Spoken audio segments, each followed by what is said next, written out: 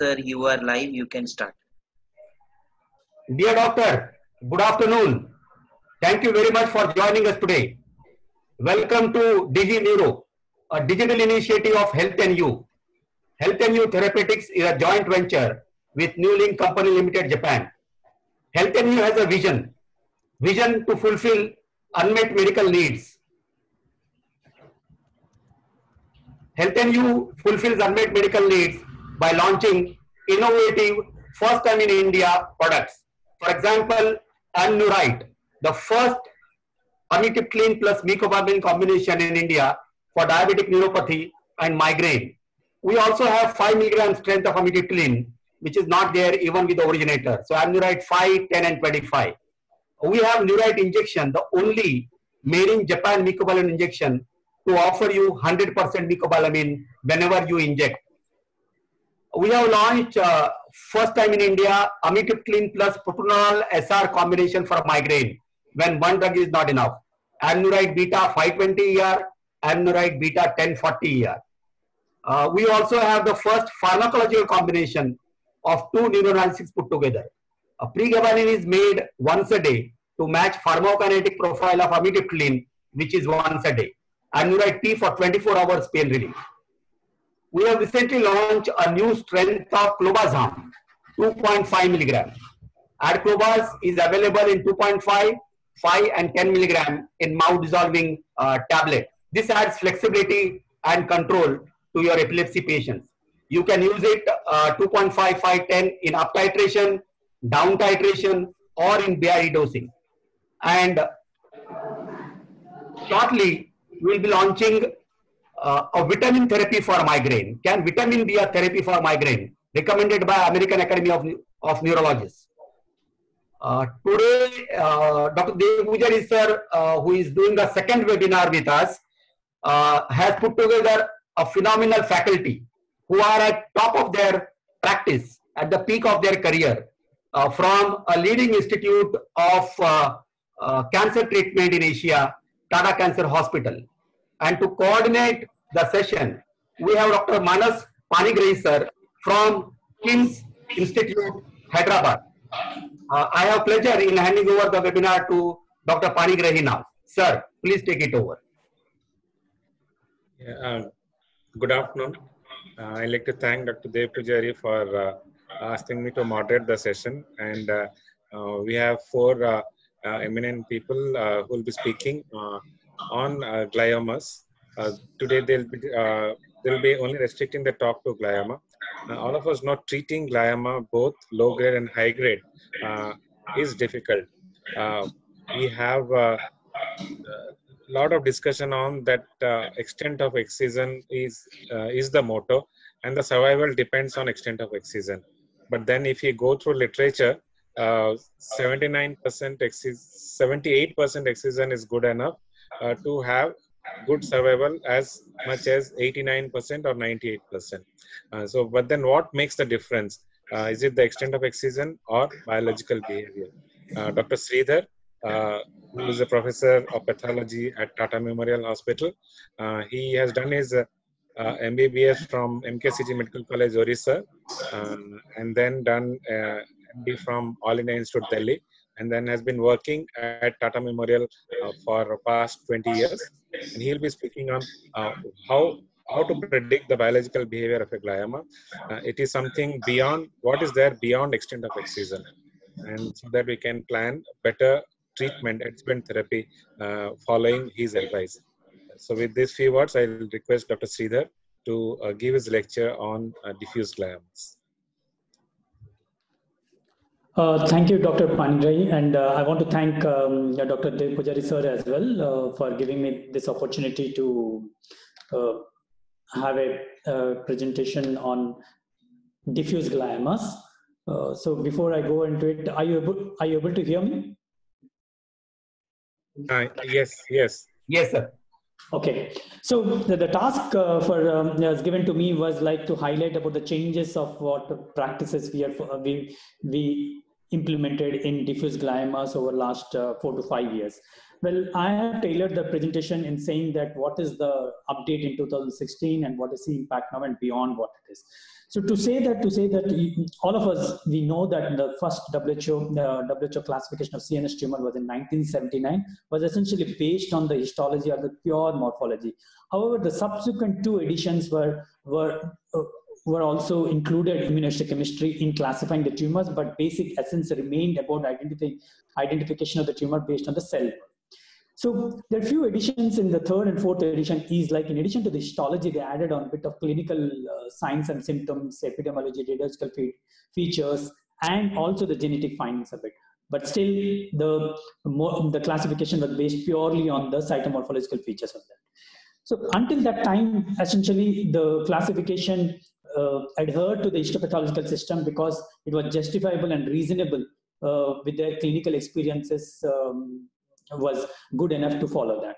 So what has happened like at, up to 2007, we had this classification of glial tumors as astrocytic tumors under the heading of astrocytic tumors. They were classified further as pilocytic, subependymal tumor, PXAs, diffuse glioma, glioblastoma, and oligodendroglioma morphology as oligodendroglioma, oligo, anaplastic oligodendroglioma, and the mixed tumors.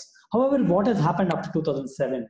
To, after 2007, the major breakthrough was identification of IDH mutation in glioblastoma, especially, uh, and subsequently it has been shown in the spectrum of different grades of uh, glial tumor. It not only through insights into the biological differences between the glioma and also showed the survival and therapeutic differences, prognostic differences among the tumor, which has led to kind of uh, which has uh, led to a paradigm shift in understanding the gliomas uh, as as um, until that time it was thought to be. In addition, parallelly, the kind of uh, data like ripening of the long-term uh, big trials on RTOG 940 um, 9204 and EORTC trial showed the impact of 1p19q deletion on oligodendroglial tumors and the prognostic benefit. In fact, when you treated when uh, the pre, the cases of the patients with anaplastic oligodendroglioma with 1p19q co-deleted, when treated with combination of RT and chemotherapy, the give gave a survival overall survival advantage of almost like 13 to uh, 12 to 13 years. So along with that multi, different epigenetic or methylation studies has thrown show that glioblastomas or the glial tumors are being a molecularly heterogeneous entity with almost like six well-known subtypes depending upon what are the receptor um, tyrosine kinase amplification type 1 or type 2 IDH mutation is done.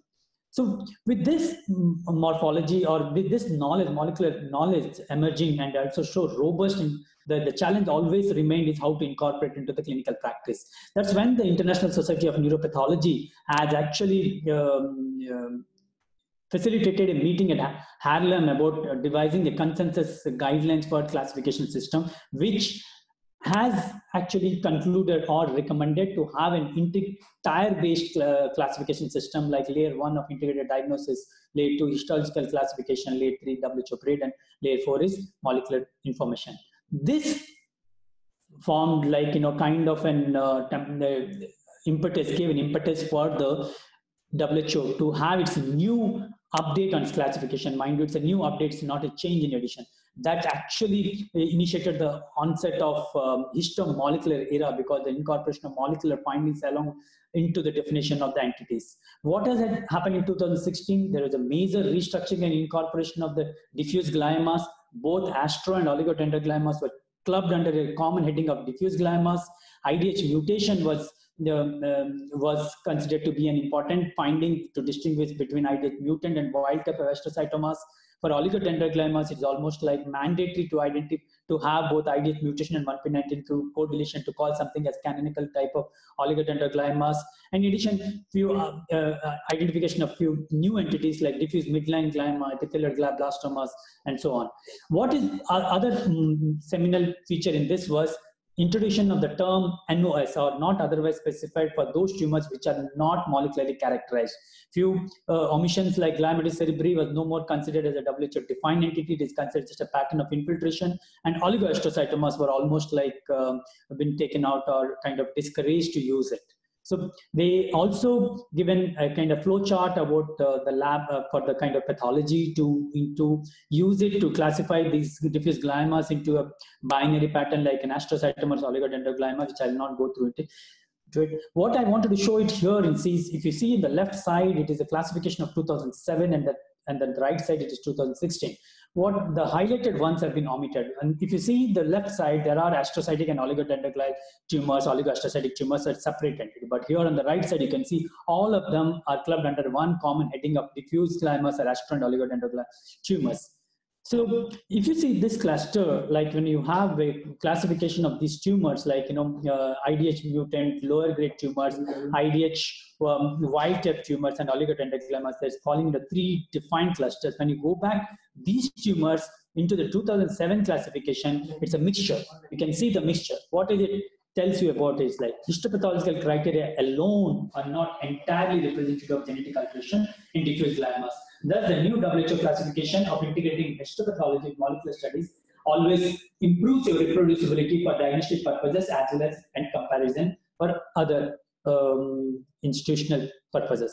Like the summary is the for the first time CN, WHO classification for CNS tumor incorporated molecular parameters for diagnosis and why it is important. They said it is more objective and precisely defined, especially for triaging the patient in clinics or kind of in a clinical trial, and also categorization in epidemiological purposes. Other more important, it is excluded the waste basket categories and uh, by introducing the terms of NOS. Like so, traditionally, this this, uh, this 2016 update has deviated from the traditional concept of only histology. Rather, it is incorporated the molecular signatures along with histopathological features and came up with an integrated diagnostic entity. So, so that's where the beginning of histomolecular era, if you want to show it in the pictorial form of WHO 2016 classification and all. So today, like, you know, 2016 classification stands like that, like when you go into this, like uh, it's an astrocytic tumor, astro diffuse astrocytoma IDH mutant. Yeah, you can call if it is a uh, morphology, you can call gemistocytic astrocytoma IDH mutant, diffuse astrocytoma IDH wild type, and diffuse astrocytoma NOS. NOS where you don't have the information about IDH mutation status. Similarly for anaplastic astrocytomas, and similarly for glioblastomas. And among the IDH wild type glioblastoma, you need to understand there are some morphological subtypes which has been described. The one is giant cell glioblastoma, gliosarcoma, epithelial glioblastoma. Epithelial glioblastoma is a provisional entity. As of now, the definition is based on the pure morphological features of having predominant tumor of epithelial morphology. Other entity is diffuse midline glioma, which is introduced that entity, and this entity has been defined by the presence of a typical molecular alteration of having mutation in H3K27, H3 um, histone gene at K27 codon region predominantly seen in the midline location, midline regions. The other is oligodendroglioma, IDH mutant and 1p19q co-deleted. You have to mind you like there is no oligodendroglioma without IDH mutation and 1p19q co-deleted. So this is what it stands about 2016 diffuse gliomas. And same what we have to say that WHO 2016, in addition to that, also acknowledges that adult and pediatric gliomas are different, both biological and clinical. So you cannot club it the same because what we see. Pediatric high-grade gliomas are different than adult high-grade tumors in the sense they are more commonly associated with histone mutation, ATRX alteration, um, and less commonly IDH mutation. And they're also associated with genetic syndromes. The what I said, like histone mutation, is predominantly uh, deals with a chromatin remodeling and characterize a predominant portion of pediatric gliomas. They're also seen in intrinsic, diffuse intrinsic pontine gliomas. So if you see, in addition to the pons, there are other common midline location of thalamus, spinal cord, and all other sites of uh, diffuse midline gliomas. So another entity of an high-grade glioma, which is G34R or G34V mutation, it is seen in predominantly hemispheric lesion in adolescent and young adults. They're more characterized by P53 and ATRX mutation as, a, as an additional alteration to the histone mutation and has a um, caveat in the sense that histologically they can have a morphology of a primitive embryonal morphology, but they will be infiltrated tumor. So this should not be called as primitive embryonal tumor, but they are a subset of high-grade gliomas with H3.3 G34R mutations. So what are the other mutations in the pediatric RP3 mutation, PDGFR amplification and uh, NF1, CDKN mismatch repair gene. These are few other uh, alteration. Why I'm highlighting this? Just to highlight that pediatric high-grade glial tumors are distinct from the adult type.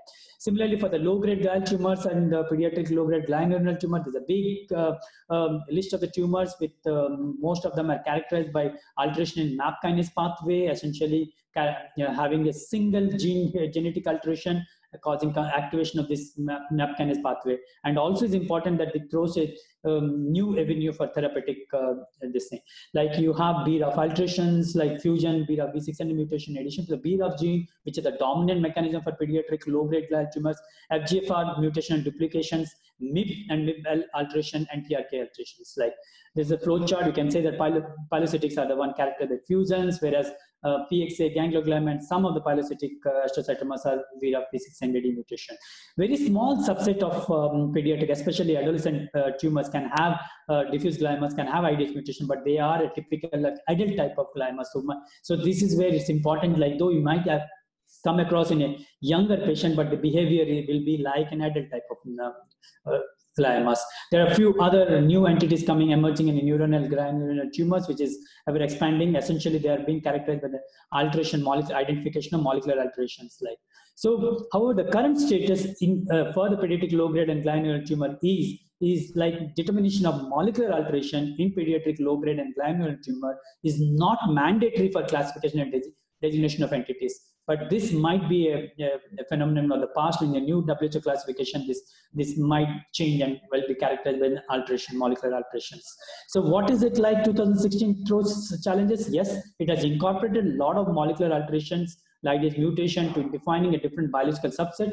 But however, there is no change in grading grading criteria, which has been essentially in 19 50 or 56 and 60s, which is Kernohan grading system, which has been adopted by WHO, then this has been still followed the same. Whether the same grading criteria holds true for IDH mutant and wild type, we, we don't know. Yes, definitions, definition is like certain entities like diffuse midline glioma are defined only by molecular alteration without having installed skeletal concordance. So, and also few um, in, incomplete definitions about having an epithelial GBM when to distinguish from uh, anaplastic pleomorphic xanthoastrocytomas.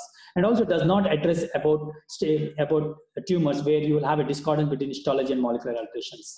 So, so to evaluate, to address the challenges, um, again, International Society of Neuropathology has started a consortium to inform molecular and practical approaches to CNS tumor taxonomy, which is not an official WHO. An acronym for that is cIMPACT-NOW which is essentially um, the, uh, the, purpose is to give an uh, um, guidelines to the practicing diagnostication in between the WHO updates and also to facilitate facilitate future WHO classification updates.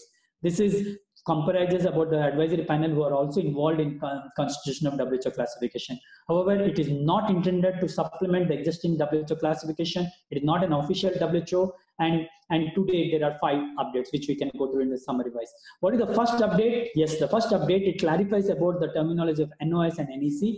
NOS is not otherwise specified. It should be used for those tumors where molecularly not characterized, meaning the information about molecular alteration is not there.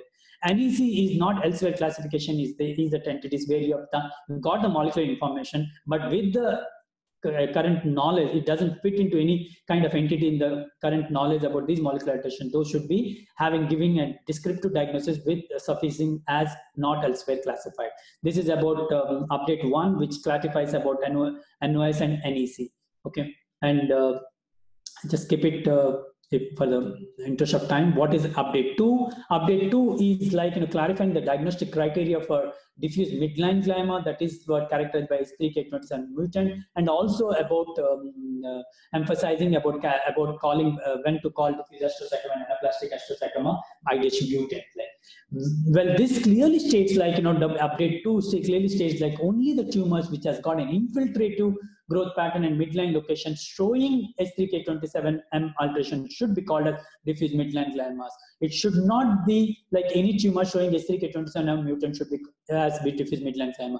The reason for this is at a small percentage of circumscribed gliomas, especially PXA or pilocytic astrocytoma and rarely posterior for serpendum has been shown. So those tumors should not be called as diffuse midline gliomas and this terminology should be reserved for those tumors which are diffuse. In fact, that's infiltrating and involving the certain midline structures like thalamus, brainstem, spinal cord, etc. Hmm. so these are the few uh, studies which are shown like where H3K27 has been shown in ependymomas and pilocytic and gangliogliomas and and uh, and a few other um, circumscribed gliomas. These tumors should not be called as diffuse midline glioma, but it should be called as circumscribed, whatever the parent, parent uh, histology looks like. So this is coming to the other part of the update too is about clarification about about diffuse diffuse astrocytoma IDH mutant and aplastic astrocytoma IDH mutant. So when a tumor of an astrocytic morphology demonstrating an ATRX protein loss and IHC, there is no need to do 1p19q testing further to classify further. So only the 1p19q testing should be used where the morphology is a oligodendroglioma or an immunophenotype of an uh, oligodendroglial tumor. Then only 1p19q testing is, uh, should be used. Otherwise, you can call diffuse astrocytoma uh, IDH mutant or anaplastic astrocytoma IDH mutant. To, to call these tumors, it is not essential to have 1p19q deletion in the presence of ATRX loss.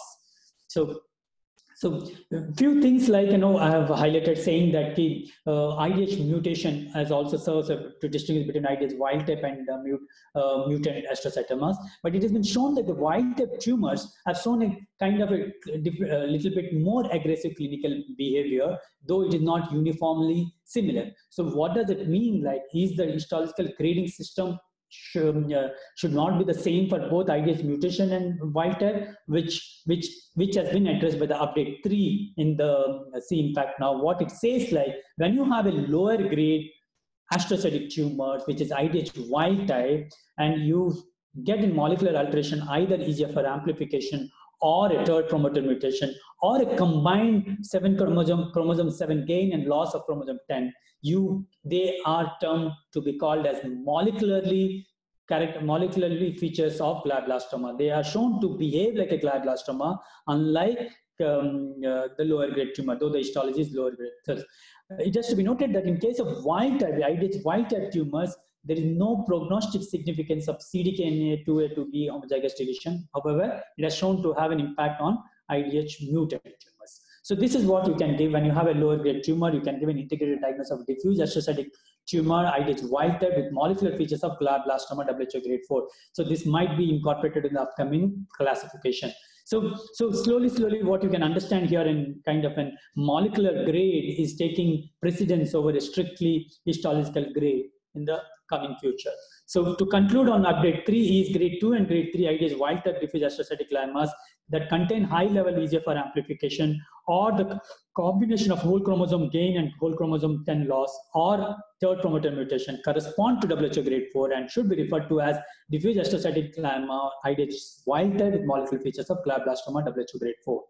Well, uh, what is the case for this grade 3? This does not apply for the pediatric diffuse gliomas and also does not apply for the diffuse gliomas at an uncommon location like cerebellum or very uh, this thing. So pediatric diffuse gliomas are more characterized, are more usually IDH wild type are more characterized by MYB and MYBL alteration, BRAF alteration. So this is only for the adult diffuse IDH wild type lower grade gliomas. So so for update five is about like saying that what it is suggesting or recommending the WHO committee is like the usage of the Arabic numerals as two, three, four rather than Roman numerals for WHO grade system is essentially only the reason is to avoid the typographical or printed print um, errors and all. And also strongly uh, recommends of discontinuing the term of term glioblastoma, especially in IDH mutant cases, rather recommending to use an astrocytoma of IDH mutant WHO grade 4. Uh, so, so maybe the glioblastoma will be remain for the tumors which are typically IDH wild type, whereas IDH mutant, they may not be calling anything as glioblastoma. And CDKN2A to B homozygous deletion in a, it will be a WHO grade 4 criteria in the cases of IDH mutant astrocytomas. So what is the five ways like when you have an astrocytic tumor, which is IDH mutant and histologically features are of grade 2 without or grade 2 or grade 3 without CDKN the 2A 2B homozygous deletion will call will be called as grade 2 or grade 3. However, in case of IDH mutant diffuse astrocytic tumors, even though you will not have a high grade morphology, but with the presence of CDKN2B homozygous deletion, it should be called as glioblast, uh, it should be called as astrocytoma IDH mutant grade 4. So uh, this impact, uh, this, this is about diffuse gliomas. Update 4 only addresses the heterogeneity among the pediatric diffuse gliomas says like, you know, WHO grade 2 diffuse gliomas from children and adolescents dominated by IDH wild type and H3 wild type tumors are characterized by PDOF alteration and FGFR alteration and also MIB1, MYB rearrangement. Thus, the limiting the utility of WHO grading or histological grading for the low-grade glioma and advising or recommending to use the generic term as a low-grade glioma for these pediatric low-grade tumors rather than calling as uh, diffuse astrocytoma grade 2. So it recommends an integrated approach saying that diffuse glioma altered diffuse glioma uh, based on using uh, uh, sufficing with the molecular alteration it is it, however it is practically difficult to be implemented in all um, places we have to wait and watch whether WHO takes this recommendation for the same impact now or not. So, so, so um, what this impact four it highlights the heterogeneity about the kind of a pediatric low grade diffuse gliomas and also um, acknowledges the fact that distinct they're different from the adult diffuse gliomas okay. So what are we looking beyond 2016 for diffuse gliomas yes more uses of molecular information for prognostic stratification than histological grade alone. Maybe histology will remain as a screening or a preliminary um, uh, kind of pricing uh, feature and final um, characterization will be based on the molecular with that, I want to thank you all. Uh, maybe and uh, and uh, I'm okay what the the chairperson or the coordinator allows me to do. Uh, thank you, Dr. Sridhar. Uh, we'll have the questions answer at the end, and okay. uh, so you have to sit through the le- surgery lectures. Yeah.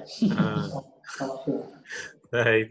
Uh, the next speaker is Dr. Uh, uh, Alisagar from Tata Memorial. He's the head of the Department of Neuro-Oncology, and he has done uh, his uh, neurosurgery from uh, NIMHANS Bangalore, and and then has been working at Tata Memorial. And he also is the section editor of World Neurosurgery, and he's involved in organization of of many conferences, and he's a part of the executive member of of ISNO also. And he'll be speaking on uh, uh, surgery for adult gliomas. And uh, he has a lot of experience in using intra-ultrasound and awake craniotomy for uh, increasing the maximal safe resection. And I'll request him to give his talk on how to do a maximal safe resection, uh, giving a higher uh, longevity. Yeah, thank you, Dr. Manas, and welcome everyone. Uh, I'm just trying to share my screen and. Uh, Sridhar has to stop sharing. I, I did it. Okay. Okay. So can you all see my screen now? Yeah, yes. Okay, so um, I'm just going to shut my video off so that you all don't get distracted by my face. And um, maybe I'll leave it at the. It's better to have the uh, video. Okay, so I'll leave it over here. Yeah. Can you see me? All right. Okay. So. Um, 15. Sorry. Can I start? Yeah. Okay. So um, I think uh, Sridhar has given a wonderful overview of uh, the pathology and biology of uh, diffuse gliomas. And what I'm going to run through in the next uh, 15 minutes is basic principles of management of adult diffuse gliomas. Uh, surgical management of diffuse gliomas itself is a very large topic, and I'm just going to try to squeeze and distill all the essence in these 15 minutes. Now, uh, if we have a lot of neurosurgeons in this webinar, we all understand that gliomas are the commonest surgical case probably in most neurosurgical OT lists and that's because they are the commonest primary brain tumors that most of us encounter, and all of us will be encountering them regardless of our specialization or practice.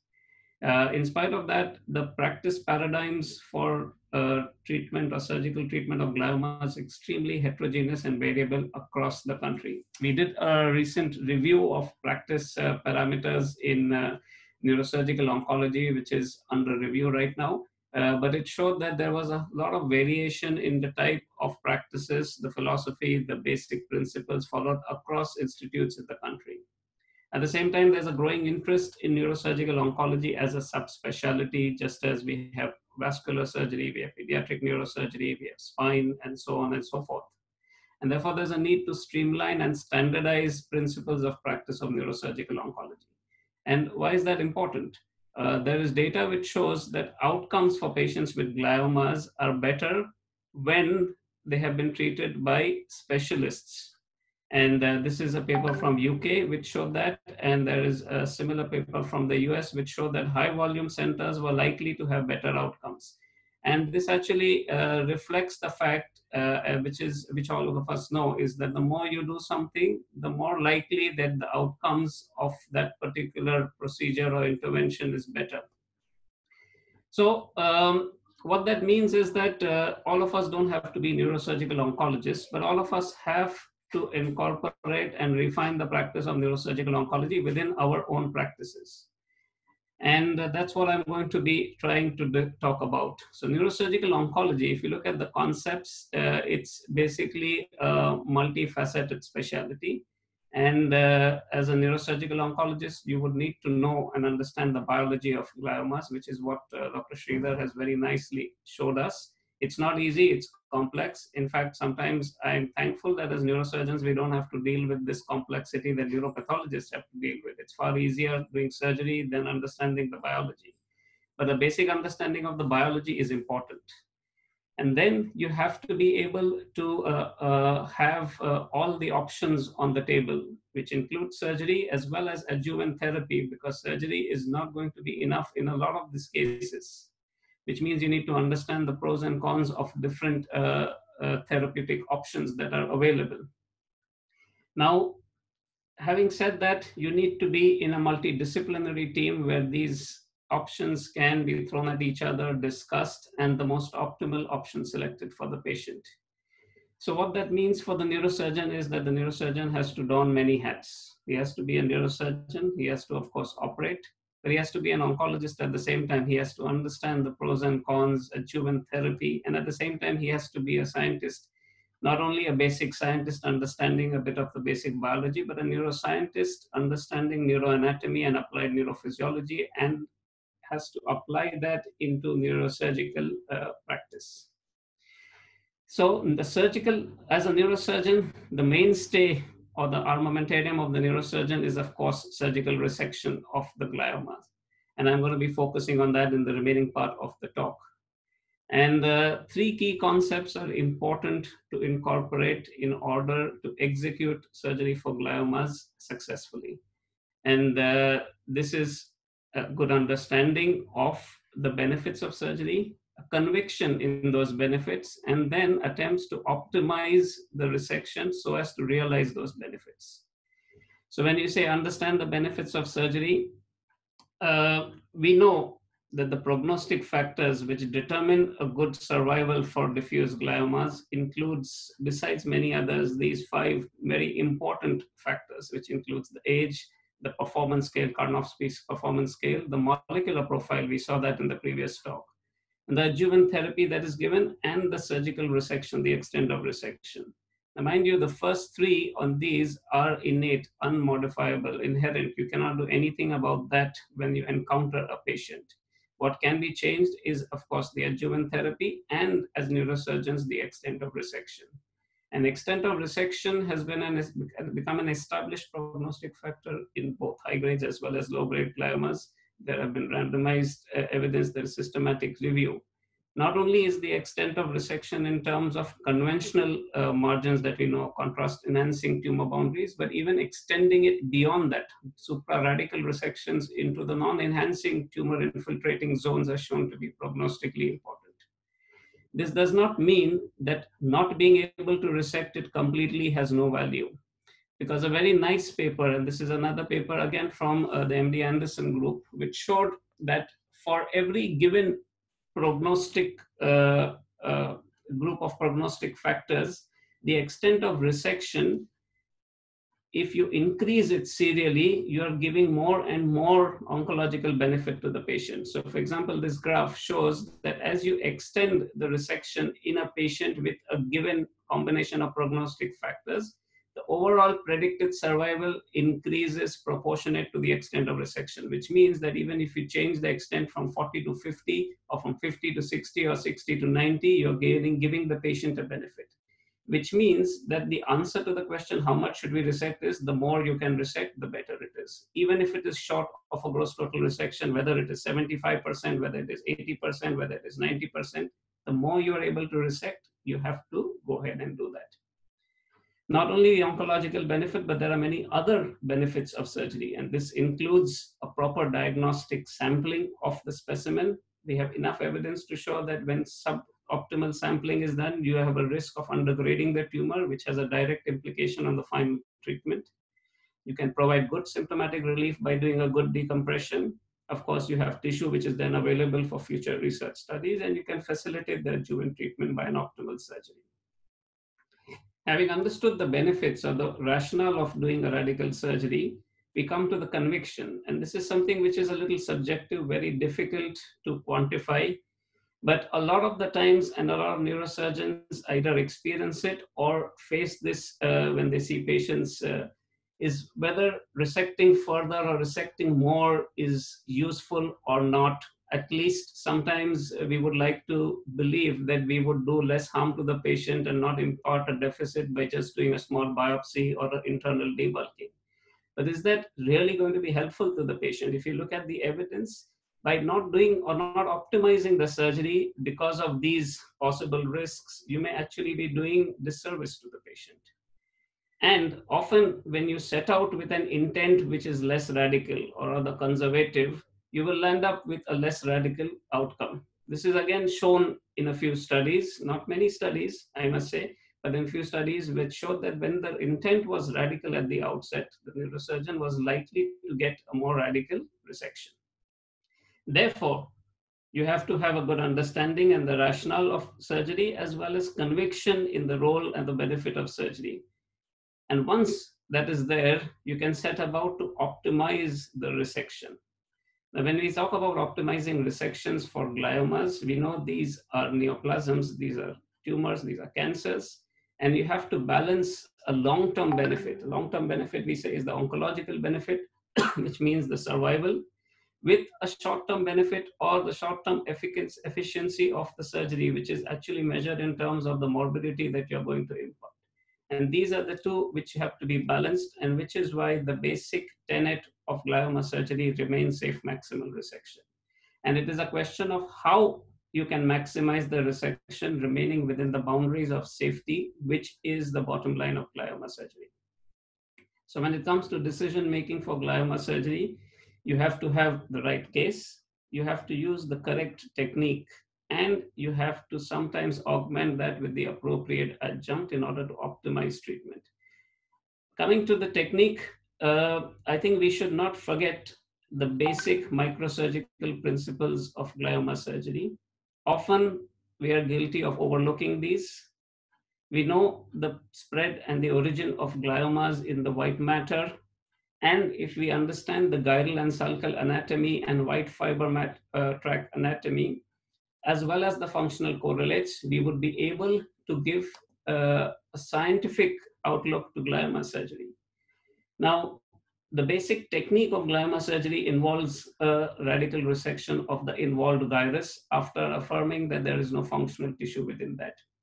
And this is the principle of subpial resection, which this video is actually showing, where you remove the tumor by doing a subpial resection without damaging surrounding functional area. This is the M1 motor area in this case and uh, it involves both gyral dissection as well as white matter dissection as is seen over here where you uh, may often have to resort to subcortical stimulation mapping in order to make sure that you are not compromising function which if is involved you have to do a less than gross total resection the basic principles, as I was saying, and this is diagrammatically depicted, is to localize the tumor in the involved gyrus, to isolate that gyrus by doing a subpial resection, and in the depths to do white matter dissection.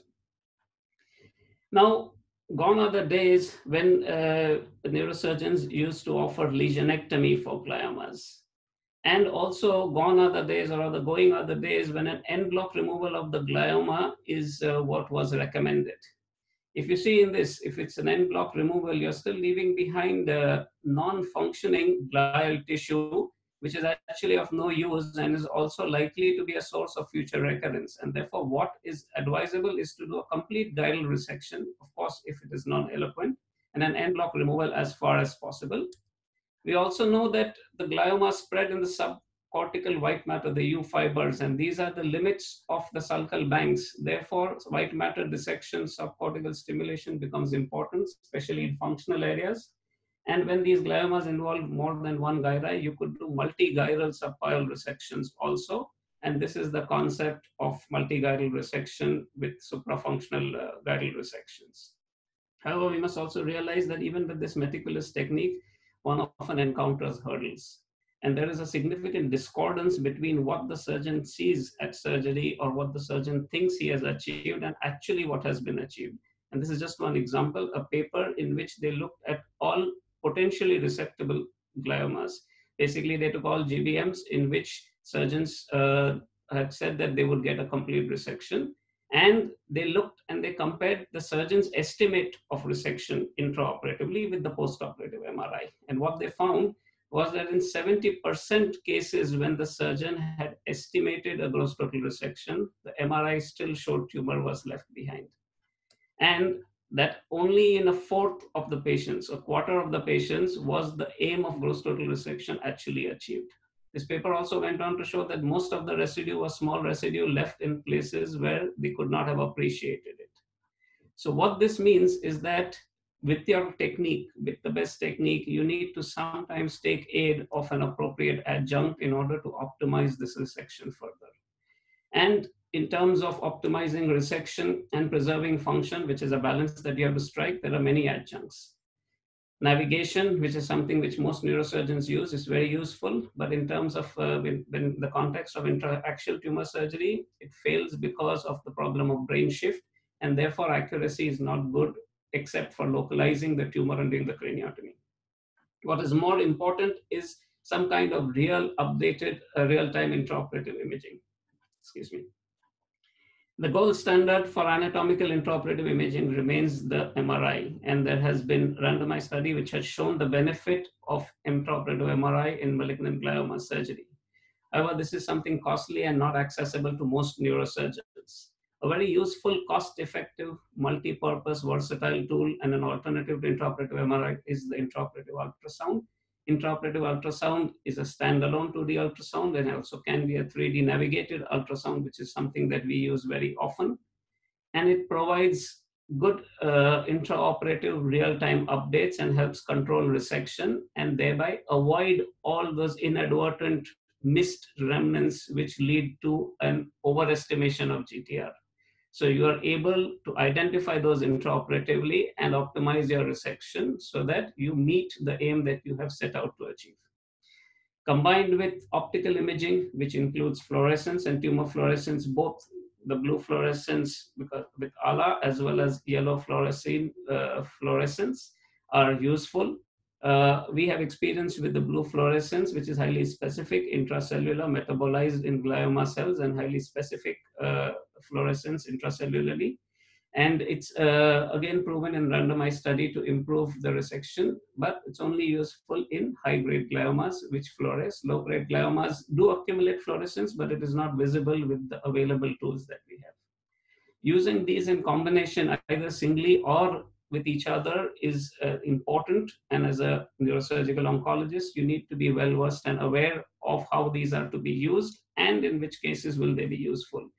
If you have it, it does not mean you use it in all cases because it may not have any incremental or additional benefit, but knowing when to use it and how to combine them judiciously is important. Having said that, at the same time, it is very important to preserve function and therefore doing a radical resection without functional mapping or monitoring is actually harmful to the patient. Intraoperative mapping and monitoring can be done both as awake and under general anesthesia. I don't have time to go into details of all of that, but uh, what intraoperative mapping does is it tells you where a functional area is, and monitoring tells you how uh, normal it is throughout your surgery, and therefore you can tailor your surgery keeping this balance in mind.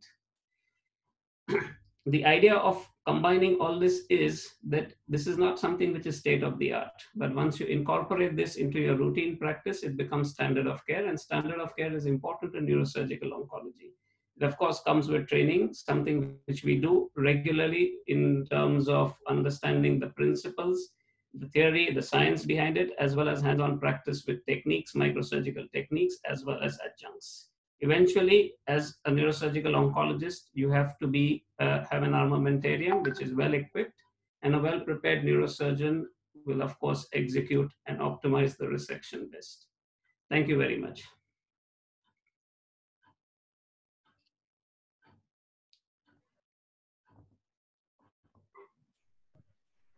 Thank you, Dr. Ali, and uh, uh, for the lucid presentation. Uh, so uh, there are lots of questions for both of you, but then we'll have the discussion at the uh, uh, after after the all the four lectures. now I'll request Dr. Deopujari, who is a professor in head department at Bombay Hospital, and he uh, he was the president of the International Pediatric uh, Neurosurgery as well as the president of uh, NSI and INDESPN. in he does means a lot of work on pediatrics and uh, the way a pediatric glioma is approached is totally different from an adult. As Dr. Uh, Sridhar uh, explained, that the pediatric gliomas, even histologically, they behave in a different way. So, uh, Dr. Deopujari will be explaining how surgically they are treated differently from an adult. So, I request Dr. Deopujari to start his lecture. Thanks, Manas. I'll spend next 15 minutes in talking about uh, uh, pediatric gliomas and uh, the role of surgery. And you see the distribution of uh, childhood brain tumors and you find that uh, the neuronal glial tumors actually form a very, very large component. And uh, Uh, many of them or most of them are uh, low-grade gliomas. Even if you look at uh, the large uh, cohort reported from uh, the uh, from India from various institutions. You see that the astrocytoma is predominant, and if you look at the various tumors in this cohort, you will find that we virtually have a similar kind of distribution as the rest of the world. Uh, Dr. Rutka has summarized very recently that uh, though uh, pediatric uh, gliomas is a highly heterogeneous group, the histology and location are significant prognostic factors and treatment therefore should be individualized. What is the uh, difference between the pediatric and the adult gliomas? Pilocytic astrocytoma seems to be the most common histological type, unlike uh, adults where diffuse astrocytomas are very common. Uh, in UK, you uh, have a series of 639 pediatric low-grade gliomas where 63% are pilocytic. Uh, you have something similar in United States where uh, out of uh, the series of gliomas, you have more than 1800 pilocytic astrocytomas as compared to only 100 diffuse gliomas. And when we talk of low-grade gliomas, we, we usually talk of pilocytic, but we also mainly include subependymal giant cell astrocytomas, uh, the pilomyxoid astrocytomas, which has not remained a different entity now with the new classification, uh, the PXAs, um, and oligodendroglioma particularly have been found to be very, very uncommon. But gangliogliomas, gangliocytomas, and uh, peculiar variety of uh, uh, desmoplastic infantile gangliogliomas occasionally. These may be some of the tumors apart from the DNETs, which are uh, specifically seen in uh, the patients presenting with epilepsy. If you look at uh, the subpopulation of malignant gliomas in pediatric patients, you again find that uh, the biology of pontine gliomas differs significantly from other high-grade gliomas in children, uh, which are not as uh, uh, bad prognosis as uh, they have in adults. So how do we clinically diagnose this? They can remain undiagnosed for a fairly long time and may present with seizures, change in behavior, diplopia, and of course raised intracranial pressure. Many of the posterior fossa tumors, especially the midline tumors, they present with uh, very little symptoms Still, a child develops papilledema and becomes grossly ataxic. Uh, and uh, you can have some uh, uh, predisposing factors like neurofibromatosis, etc., where you may find uh, multiple tumors. So the main talk uh, is of role of surgery in pediatric gliomas. And if you see uh, that in terms of gliomas in children, surgery forms the definite first therapeutic step. It provides not only in establishing diagnosis, but reducing tumor burden. An extent of resection is clearly associated with postoperative outcome, except for diffuse pontine gliomas and some uh, other deep-seated gliomas. The following factors which are related to prognosis are age, uh, especially children uh, below five years where you find higher rates of tumor progression, uh, and the tumor location that cerebellar tumors are more benign than the cerebral tumors. And this is the general distribution. You will find that the cerebellum is the most common, followed by the cerebral hemispheres, and then the deep midline uh, structures and uh, uh, the hypothalamic optic pathway. So let us take cerebellar astrocytomas. This is the most common tumor. It's a WHO grade 1 tumor. And uh, you will find that uh, there is a enhancing mural nodule as a characteristic thing, especially associated with a cyst. And this is one such example in a T1 weighted uh, uh, MRI film. And you will find a typical kind of a mural nodule. This is another patient, of course, uh, which you see in a pilocytic astrocytoma. And uh, the complete resection is curative. Resection of the mural nodule is very, very crucial and uh, there is no role of upward upfront adjuvant radiation therapy. I would leave that to Tejpal. I think I would not comment on radiation any further. Tumors with BRAF uh, fusion respond much better to uh, other treatments, and that is another feature which uh, has become important when you have some atypical features in a pilocytic astrocytomas. so we usually do a follow-up MRI at three months to make sure that the tumor has been completely resected and then follow it up with annual MRIs. So typical story, 16 year old girl presented with uh, acute raised intracranial pressure and uh, you find that uh, this is a rare case where there was hemorrhage within the cyst of the uh, pilocytic astrocytoma, but this has been completely excised and you find the piloid cells and the typical Rosenthal fibers. And this is the postoperative three month scan, which shows no residual tumor. This girl is about 12 years post-op now, and she has no residual tumor and is uh, doing well uh, in uh, her life. Another patient, you will again find that a cyst with a largish nodule present on the uh, vermis uh, right on the top and uh, again a very good excision can be achieved by simple surgery you can see that by depressing the cerebellum uh, we've been able to get onto this tumor, which is almost exophytic. And once the cyst is drained, it becomes much easier to uh, demarcate the tumor. Uh, large portions of the tumor have been taken out. This is, this is the typical feeling when you find a pilocytic astrocytoma. And then once the tumor is debulked, you can go at the periphery and you can start demarcating the tumor from the surroundings and uh, the tumor is coming out nicely and uh, you will find that a clear margin uh, is seen here which is being lined by hemo local hemostat and this is the post-operative scan at three months showing a complete excision. When the tumor is present in a cerebral peduncle, so you have some more uh, uh, ataxia is much more common. You may have a sixth nerve paresis and this kind of a tumor you can operate through uh, you make sure that what is the best approach by seeing the tractography and today tractography gives you a better idea what should be the approach of the tumor it also gives you an idea if the tumor is infiltrative by seeing if uh, the tracts are just displaced or not. And once you have seen that you can use a relatively straightforward approach what we call the telovelar approach, uh, where you do not get into the cranial nerve nuclei, and we are making sure that uh, we do not have any nuclei by using the uh, uh stimulator to see, and then start gradually debulking the tumor, and uh, similar kind of a tumor, and by retracting one cerebellar tonsil, you can virtually remove the whole tumor as uh, can be seen on this scan. And this is a three months uh, later post-operative MRI to show that we have been able to get a complete excision.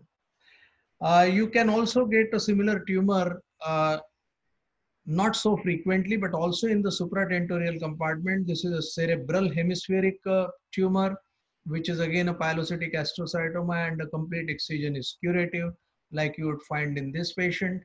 And uh, one of the important things is whenever they are present in the medial temporal structures, they present with uh, epilepsy. And if the syndrome has been there for some time, you need to uh, do it by the principles of epilepsy surgery. You may have to remove the temporal lobe along with the uh, tumor. But if uh, the patient uh, has a short duration of symptoms and uh, you do not see spikes in the lateral lobes, you may be able to do only a limited excision of the tumor.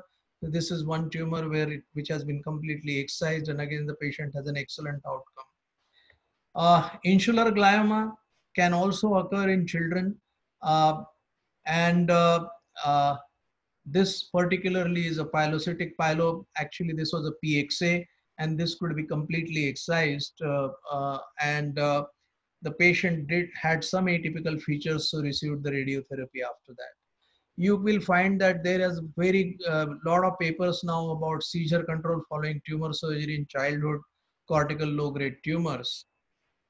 You can have uh, low grade astrocytoma even uh, in the ventricles. This is a septal tumor and this was misinterpreted as a colloid cyst actually. And uh, this, this uh, was removed by endoscopic assisted surgery and a complete excision could be achieved larger tumors which you find especially in association with tuberous sclerosis are subependymal giant cell astrocytomas.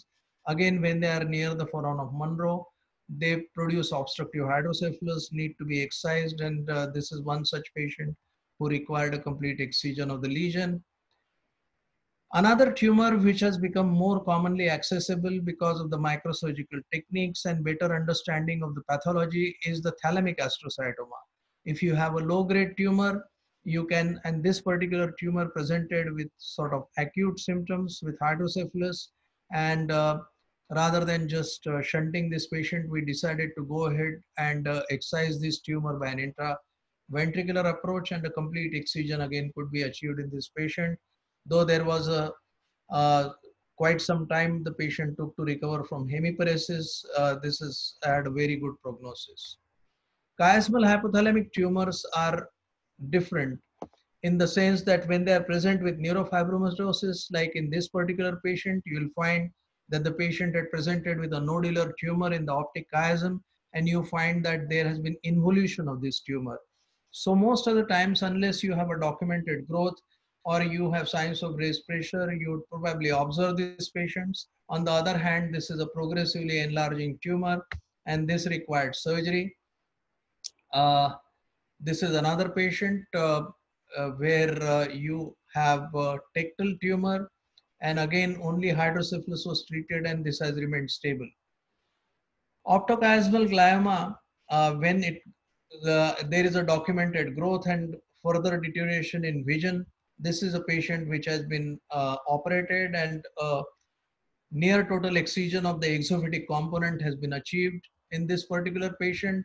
A similar patient uh, again had to undergo uh, surgery for decompression and I wouldn't take you through this uh, because of time, but this turned out to be a ganglioglioma, so a relatively rare phenomena.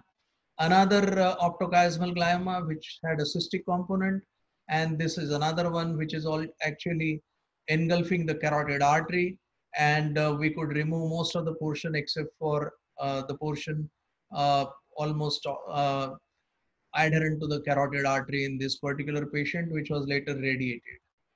Uh, sometimes you may do a very small procedure like this is optochiasmal glioma. Once again, this patient had a relatively stable vision but developed hydrocephalus. So we did a uh, septostomy, took a biopsy, did a shunt in this patient and then subjected him to radiation. Uh, so there can be role of surgery in the way of just a CSF diversion in some of these patients. On the other hand, this is a hypothalamic glioma presenting in a, a small child with diencephalic syndrome. where we had to do decompression once for visual deterioration, but the child has been under control with chemotherapy alone. Brainstem gliomas are by far the most intriguing and uh, very difficult to treat tumors, especially if it is diffuse in variety. You can get occasionally focal tumors and the cervicomedullary tumors are again uh, in surgeon's domain. Exophytic component of the tumors can be treated. Uh, disseminated tumors are fortunately not so common. This classification was given even before the advent of MRI became uh, become uh, uh, contemporary imaging by Fred Epstein, and that has stood the test of time. Today we uh, have the same classification, DIPGs, focal brainstem tumor, dorsal exophytic, and cervicomedullary. And I'll just briefly take you through our experience. Focal brainstem tumors, we are quite aggressive with. So this is one patient where you have a nodular focal tumor, and this has been uh, you know, uh, excised uh, almost completely. I don't have the postoperative MRI of this picture. Another eight-year-old child, you have a largish uh, uh tumor, again, mainly occupying the left half and uh, the peduncle. And this was uh, evaluated by tractography and it was seen that the tracks were displaced. And we went ahead and did a large debulking of this tumor after removing the cyst. And you can see uh, that uh, the tumor could be uh, excised to a large extent till almost a normal interface could be found. This is the post-operative MRI. Uh, this is a post-operative CT scan of that patient. MRI is yet to be done. This recently operated patient. Cervicomedullary tumors again can be excised uh, like uh, very usually a rare occurrence. I have only about three patients where we have been able to excise this tumor completely patients need prolonged ventilation uh, and uh, uh, you have to take care of their lower cranial nerves post-operatively. But once uh, they come out, uh, it has been a good recovery in uh, all the three patients we have treated. This is a rare case where it looked like a focal cervicomedullary tumor, but turned out to be a high-grade lesion. On the other hand, this turned out to be a tuberculoma and nowadays we mostly are doing uh, whenever there is doubt we are doing a navigation guided biopsy for these patients. So i think molecular insights into these lesions are probably important but very rarely less than 10% patients are non uh, non uh, gliomatous uh, tumors which was thought to be one important consideration when biopsy was uh, being uh, advised and many of them have uh, this typical mutation uh, where you have uh, uh more malignant variety and uh, Dr. Uh, Sridhar briefly talked about it. So H3K27 mutation in these patients is well known and they uniformly fare very, very badly in spite of surgical decompression or radiotherapy or even chemotherapy. And many of these uh, patients uh, are usually not uh, treated if they are present in a bad state.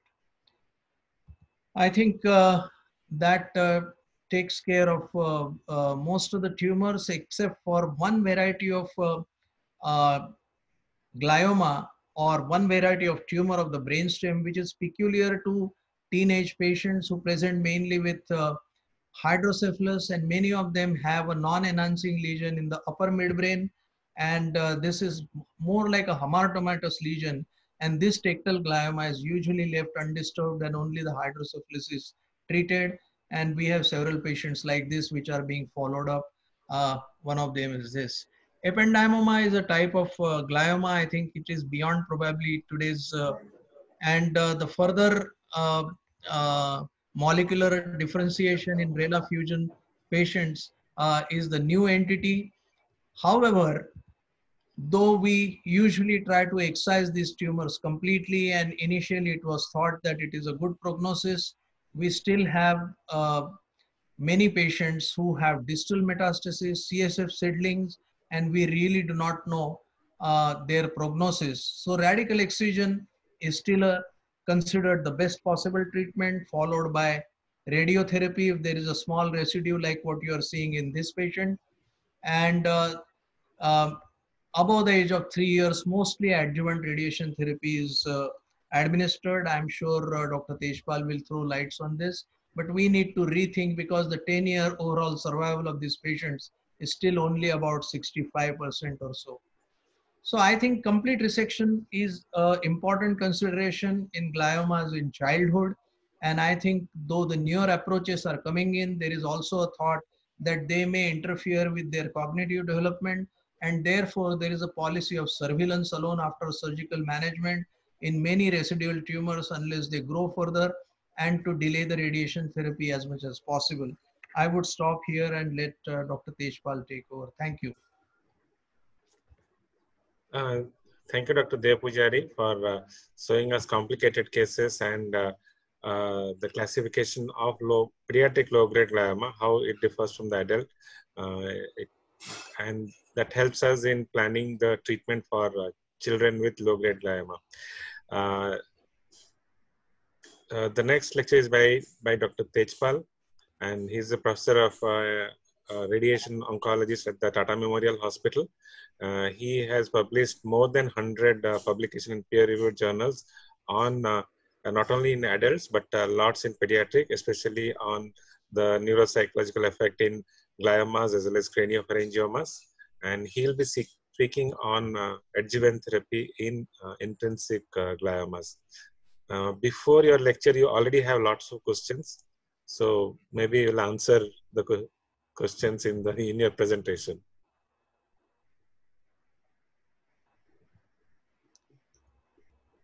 So over to Dr. Tejpal. Dr. Tejpal, please share your screen. Dr. Tejpal, please unmute, no?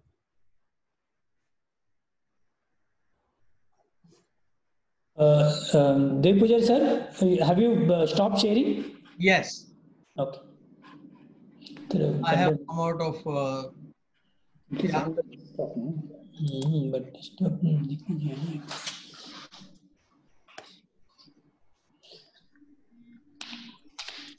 Amod कहाँ गया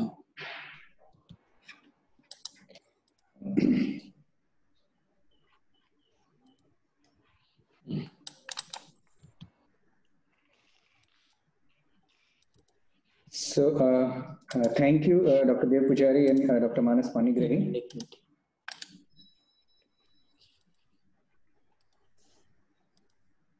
So, uh, can, yeah. can, can you see the uh, screen now? No. No, we, no, no, we, we can hear you. We can see your video, but not your screen.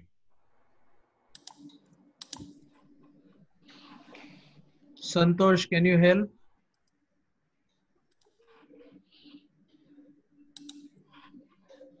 Share screen.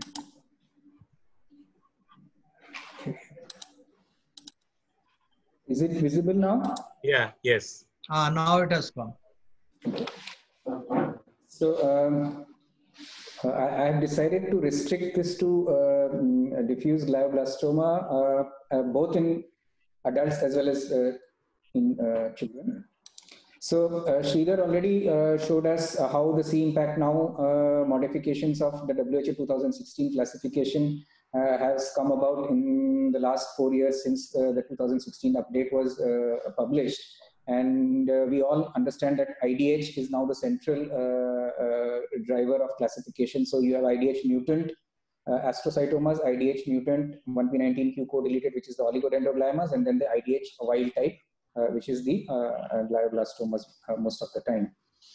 So the current global standard of care in the post-operative adjuvant therapy of glioblastoma is focal conformal external beam radiotherapy to the tumor bed with appropriate margins to a dose of 59.4 to 60 gray in 30 to 33 fractions with concurrent temozolomide during the course of radiotherapy followed by adjuvant temozolomide given after uh, the concurrent uh, chemoradiation ends. And the basis uh, for this is for, uh, we know that radiation therapy works in gliomas and uh, on the left is actually a very old publication uh, where uh, radiotherapy was compared with chemotherapy alone and in combination with carmustine and semustine. Those are olden days. And as you can see that radiotherapy uh, wherever radiotherapy was added, there was a uh, improvement as compared to simvastatin chemotherapy alone. And more recently, in elderly glioblastoma in 2007, when it was compared, radiotherapy was compared with best supportive care, clearly uh, radiotherapy improved outcomes. So we know that radiation therapy works in uh, uh, glioblastoma. Now, radiation therapy is a chain of processes, and I won't take you through this entire chain, but uh, we have to immobilize the patient, uh, take a planning imaging, most commonly CT scan, but nowadays we fuse it with MR. We delineate the structures, uh, both the target volume as well as the organs at risk, which we want to uh, sort of preserve. Then the physicist plans it using um, computer uh, calculations, and then the radiation oncologist approves the plan, and the patient is treated after a quality assurance of the plan is done. So this is a very routine process that as radiation oncologists we uh, follow uh, for radiation therapy for all tumors and gliomas are no exception to that. Now, accurate delineation of the target volume is quite critical for all uh, radiation therapy planning, including in gliomas. And uh, the International Commission on Radiation Units and Measurements actually uh, several years ago has defined what should be called as the gross tumor volume, what should be called as the clinical target volume, and what should be the planning target volume for different uh, tumor sites. Uh, uh um, and uh, there has been some consensus regarding this in terms of gliomas as well.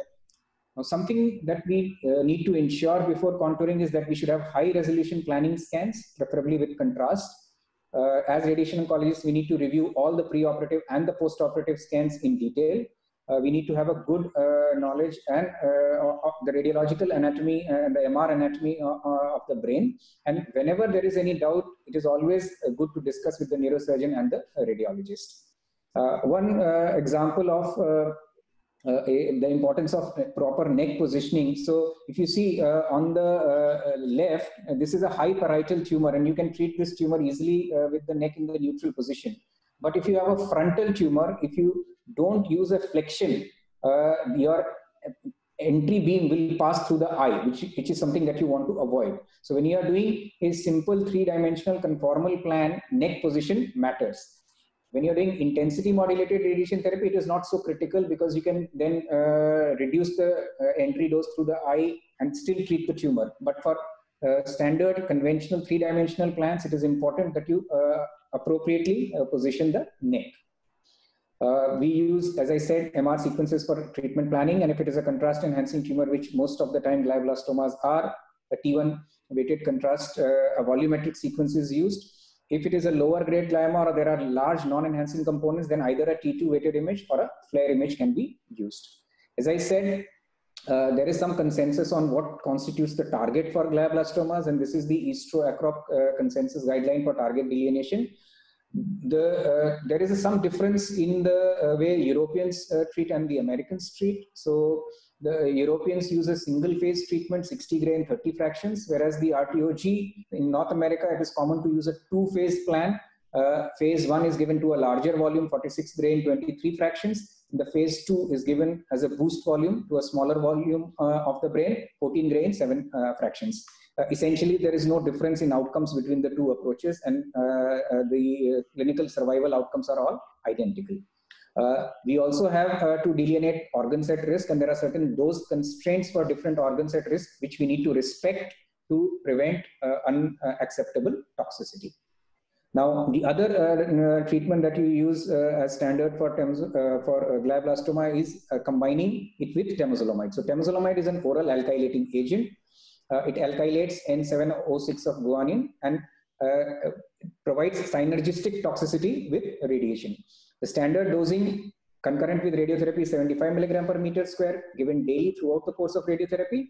And in the adjuvant setting, it is 150 to 200 milligram per meter square, day one to day five, given every four weekly.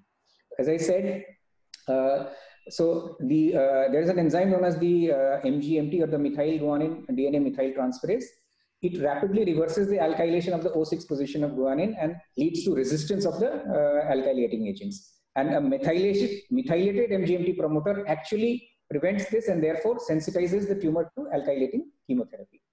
Now, as uh, we uh, said that the current standard of care is uh, focal conformal radiotherapy with concurrent and adjuvant temozolomide. And this came from this uh, famous pivotal phase three uh, trial done by the EORTC and CIC uh, Roger Stupp, who randomized to radiotherapy alone versus concurrent and adjuvant uh, temozolomide combined with radiotherapy. And as you can see, there was significant benefit uh, uh, in overall survival.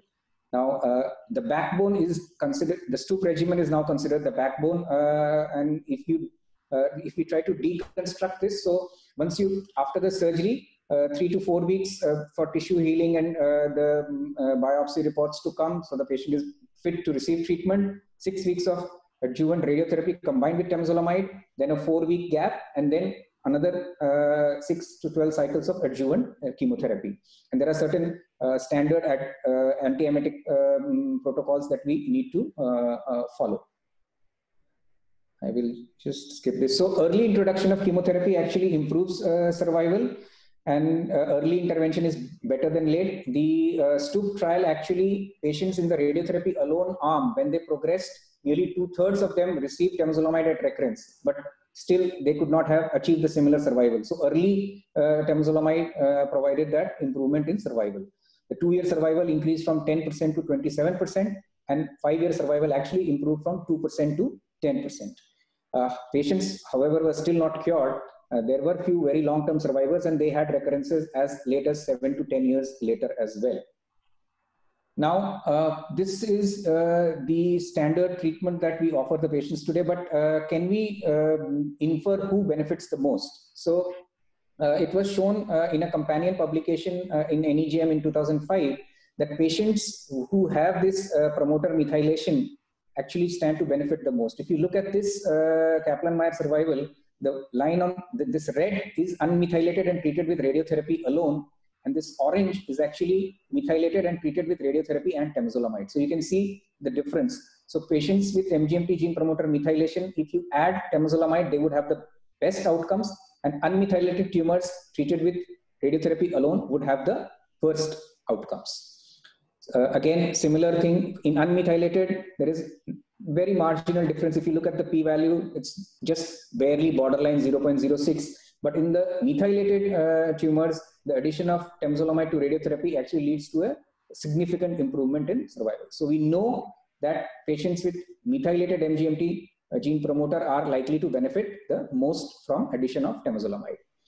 So can we withhold temozolomide in unmethylated tumors?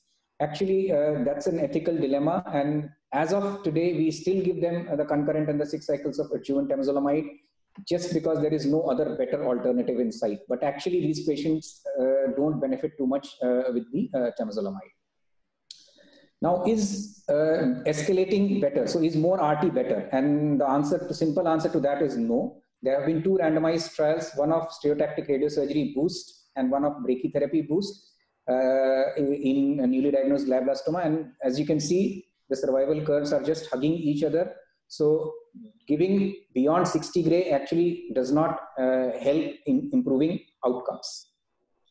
So is more temozolomide better? So there are two uh, ways to look at it. One is to give a dose dense regimen. So the RTOG 0525 actually use a dose dense temozolomide versus the standard five day uh, regimen. And as again, as you can see, there was no difference in overall survival.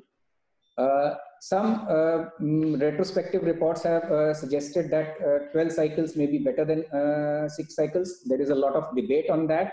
Most people still believe that six cycle is good enough. 12 cycle does not improve outcome. And more recently, actually, there has been a Spanish phase two randomized control trial, which was presented in ASCO last year and has just been published in press in uh, neuro-oncology. So patients who completed six cycles, they were randomized to either further observation versus six more cycles or extended adjuvant temozolomide. And as you can see, uh, uh, there was no significant difference in either progression-free survival or overall survival. Uh, one of the issues uh, is that this trial was a bit underpowered because we had only 159 uh, uh, patients that were randomized, and this was not powered to detect that kind of a difference. Even in the methylated group, if you see, there was no significant difference in uh, either progression-free survival or overall survival. Uh, so this debate is still uh, ongoing. We really don't know whether 6 is as uh, good as 12 or 12 is actually beneficial.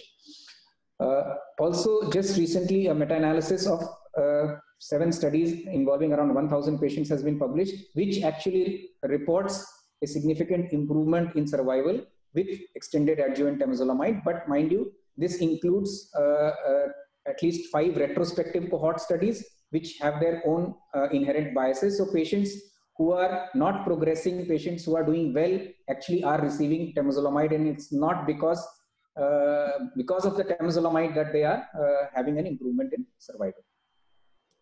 Uh, so can MGMT based selection help? So uh, in methylated tumors recently last year there was a publication from the German network, uh, the NOA 09 where they added lomustine to temozolomide and did report some improvement in uh, survival. Similarly, in uh, unmethylated tumors, there was a randomized trial where temozolomide was replaced with bevacizumab plus irinotecan. However, there was no significant difference in uh, outcome. So uh, possibly MGMT-based selection may help, uh, but still we are not very clear whether that uh, will help us uh, as of uh, today or not. Moving to the elderly glioblastoma, which constitutes at least 30% of all glioblastomas, even close to 40% in the Western hemisphere. So there's a lot of therapeutic nihilism in elderly because they uh, the rates of resection are much lower than the uh, mm, uh, non-elderly population. They generally have a, a, poorer performance status. There is a lot of comorbid illness. Um, uh, they need uh, steroids, and we know, all know there are detrimental uh, effects of steroids. So actually, there is some thought that you could consider withholding adjuvant treatment in the poor prognosis elderly patients where the overall survival is likely to be to be uh, three or four uh, months only. Now, there have been several phase three randomized control trials in uh, the elderly population, and um, the most recent one was actually looking at short course radiotherapy plus temozolomide versus short course radiotherapy alone. And again, this was published in the New England Journal and clearly showed that the addition of temozolomide to short course radiotherapy improved outcomes even in the elderly glioblastoma. Uh, mind you, in this uh, trial, 12 cycles of adjuvant temozolomide uh, were allowed, uh, either till progression or till 12 cycles. So in the original Stupp trial, it was six cycles of temozolomide. In the short course, in the elderly GBM, it is actually 12 cycles of uh, uh, adjuvant temozolomide.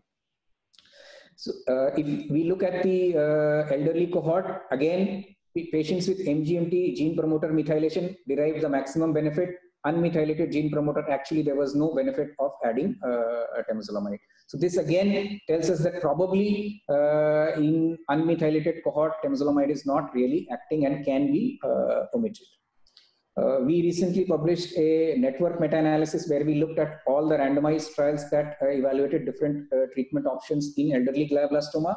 And if you can see the um, surface area under curve here, the short course radiotherapy plus temozolomide is actually the best uh, approach for elderly glioblastoma and best supportive care is actually the worst approach for uh, elderly glioblastoma. Now, none of these treatments are without toxicity and with temozolomide you do get hematological toxicity. So this is these are a summary of all the randomized trials that have uh, used temozolomide in uh, high-grade gliomas, mostly glioblastoma. And all across the board, you will see that nearly there is a 10% risk of grade 3, grade 4 hematologic toxicity with temozolomide, which most of the time is self-limiting and uh, uh recovers on its own without the need for GCSF or platelet uh, support. So it's not that toxic a treatment elderly patients actually have a higher risk of uh, toxicity and uh, even females have a higher risk of toxicity. So if you look at some of the predictors of uh, temozolomide induced myelotoxicity, so as I said, uh, there is this uh, uh, paper from Terry Armstrong and group where they did show that they, they actually devised a score uh, wherein mm, you can predict the risk of toxicity. And they also looked at some MGMT gene polymorphisms, which actually predicted the risk of uh, uh myelotoxicity. At TMH, we also did an audit on 100 odd patients where we uh, could identify uh, female gender, total leukocyte count, serum creatinine, and histological grade as predictive factors of temozolomide induced myelotoxicity.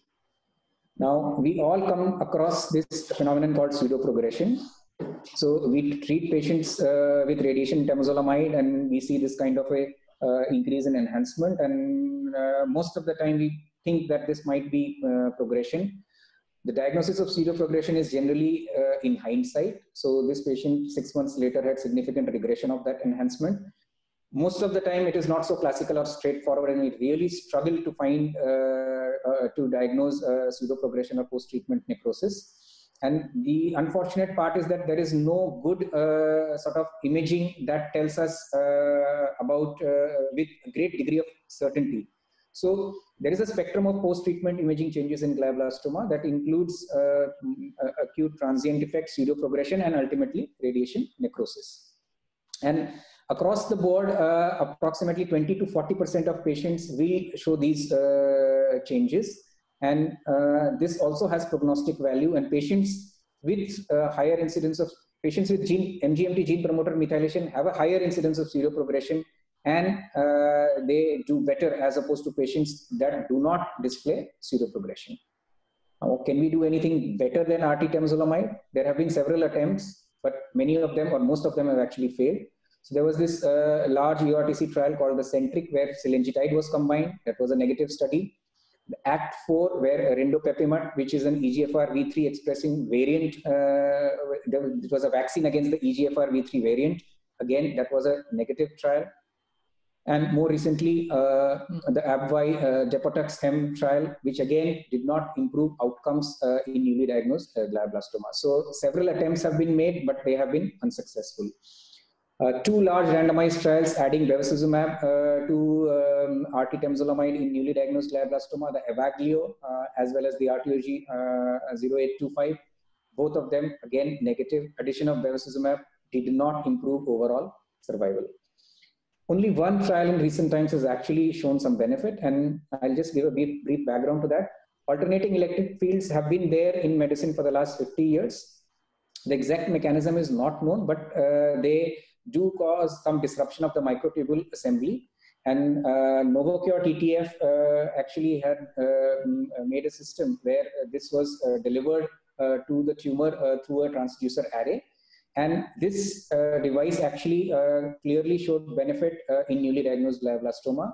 So again, Roger Stupp did this trial, EF14, where patients were randomized following chemoradiation into temozolomide alone as adjuvant versus temozolomide plus the tumor treating fields. And both in the initial interim analysis as well as the final analysis, there was a significant improvement in both progression-free survival as well as overall survival. So in the last uh, 20 years, uh, apart from temozolomide, only TTF is now approved uh, as an adjuvant treatment in a newly diagnosed glioblastoma. Uh, briefly to talk about immunotherapy, uh, uh, the immune checkpoint inhibitors have come up in a big way in several solid tumors. There have been several immunotherapeutic strategies in glioblastoma, including the use of nivolumab. However, none of this has worked in GBM as yet, even in the newly diagnosed or the recurrent setting. So there has been some somewhat of a dampener as far as immune uh, treatment is concerned in uh, glioblastoma. Now, if we look at the uh, timeline, uh, how uh, things have evolved in glioblastoma, uh, so over the last uh, 50 years, uh, there have been major technological advances which have led to improvement in outcome, but all of the improvement has been quite slow and incremental, and we still do not have a cure for glioblastoma. Just to briefly touch upon pediatric glioblastoma, they are highly malignant tumors, two-year survival of around 10 to 12%. Histology is very similar to adult GBM but molecular foundations are very, very different. And this is uh, the sort of molecular subgrouping of pediatric high-grade glioma now divided into six uh, subgroups. The predominant ones are the, actually the histone uh, mutant uh, uh, tumors. And Dr. Sridhar showed that you have the H3.3 mutations in the H3.3 domain. It could be K27M or G34R the K27M is typically in midline locations, whereas the G34R is associated with hemispheric location. So maximal safe resection remains the first line therapy for pediatric high-grade gliomas. Post-operative adjuvant radiochemotherapy is then given. Uh, most people use the Stupp regimen, so we give concurrent and adjuvant temozolomide, but uh, the uh, outcomes are dismal. Uh, the benefit of adding temozolomide is not really known in the pediatric high-grade gliomas. The benefit of adding bevacizumab has not been explored and uh, um, molecularly targeted therapies are now being tested and developed for pediatric high-grade gliomas based on the molecular classification of uh, disease. These are some of the studies that have uh, been uh, currently ongoing uh, looking at uh, pediatric high-grade glioma. And with that, I am happy to take questions.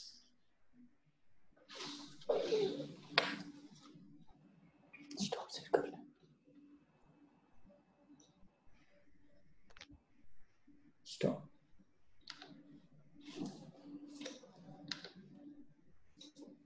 There is one. Hmm. Yes, to Manas has to unmute. Dr. Manas, we can't hear you. He has to unmute. Can you hear me now? Yeah, yeah. Yeah. Okay. Uh, so uh, we have uh, lots of questions to everybody. Uh, I have forwarded uh, the questions uh, to Dr. Sridhar and Dr. Tejpal, but then I could not forward to Dr. Deopujari and Dr. Ali. I'll ask them. And in the meantime, I'll request Dr. Tejpal, Dr. Sridhar to see, check in the chat box the questions. Um, I'll ask the comment. It is, this is a question, common question to all of you. There, there's a, a, question that if, what is the role of a primary uh, radiotherapy in either a high grade or a low grade uh, in, in the present COVID pandemic when we want to avoid surgery? and it uh, i want comments from uh, all dr ali dr pujari and dr uh, tejpal also. That's the question. Dr ali please unmute. Basically manas i i really do not think uh, uh, it is really a consideration. Upward uh, upfront radiotherapy i have used only in diffuse brainstem gliomas I think uh, in uh, a vast majority of patients, you can diagnose a diffuse uh, brainstem glioma uh, quite confidently on the uh, MRI. And uh, I think that is the only tumor where upfront radiotherapy is really justified. because of the COVID days, can we avoid a biopsy? I think biopsy is a relatively low uh, risk procedure. And uh, I, I i'm not sure if i would advise upfront radiotherapy even in these circumstances. Uh, dr ali need to ali, unmute. you have to unmute yourself you can unmute. You can unmute. Sorry, yes. yeah, you can hear me now? Yeah. Yeah uh, I think uh, it's a very valid question, but I will second Dr. Deopujari in this that um, I don't think uh, there is a role to alter the disease uh, management algorithm uh, just from the COVID point of view. What can be altered is that for high grade gliomas, our policy has been for high grade gliomas, we are still operating them and we are still offering them debulking radical surgery even uh, today in these days. But our indications are highly selective and we are screening them more rigorously, testing them and using all prop, I mean, PPE and everything while operating them. For low-grade gliomas who can be deferred till everything else settle down, we would uh, advise them to wait for some time, but then come up for surgery and then radiation after that, after the acute uh, pandemic issues and logistics are sorted out. But for malignant high-grade gliomas, I think um, uh, we would still recommend, unless they're unresectable diffuse, uh, then a biopsy would be warranted. And the only issue would come is that if the radiation oncologists are comfortable radiating directly without a biopsy for only biopsyable cases, I would think of that. But otherwise, for a patient who is otherwise um, uh, amenable to debulking surgery, we would consider offering that even today. Yeah. Before I leave you, there's a question from Dr. Suresh Shankla to Dr. Ali. He has asked, what is your uh, opinion on going for a second look surgery in low-grade gliomas? So uh, for low-grade gliomas, when we say grade 2 gliomas, uh, uh, the we would consider going for relook surgery without any other adjuvant therapy having been given uh, when there is a definite substantial residual tumor uh, in a relatively non-eloquent, even if it is eloquent, uh, we would consider offering a redo surgery. before proceeding for adjuvant therapy. So we would definitely consider that. We would discuss it in our tumor board and uh, we would definitely plan that. Yeah, this is Dr. Vikram from Kathmandu. It's question to both of you. Uh, is it a good idea to compromise post-operative quality of life for sake of radical removal of tumor? Not at all. I think that is not it is not negotiable. You cannot compromise that. The difference is that when you have a low-grade glioma, when you compromise immediate post-op quality of life, you are you have a chance to improve that over a period of time, over two to three months.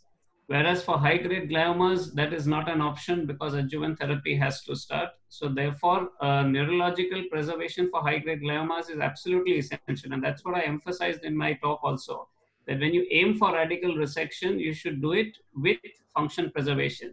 But at the same time, you should not use function preservation as an excuse for doing a suboptimal debulking resection.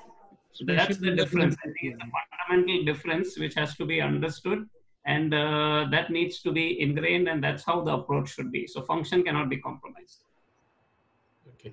And for the maximal safe resection what do you follow? Uh, just macroscopic or uh, contrast enhanced t1 weighted image or uh, a FLAIR image?